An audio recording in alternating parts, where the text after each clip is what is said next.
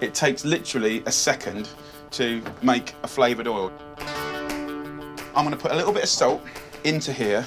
You've got leftover herbs, throw it in there, smash it up for me. Literally 30 seconds, then we take a cheap olive oil, muddle away. That means go from pounding to Yeah. doing that business. Okay, so once you've done that, right, look at the colour.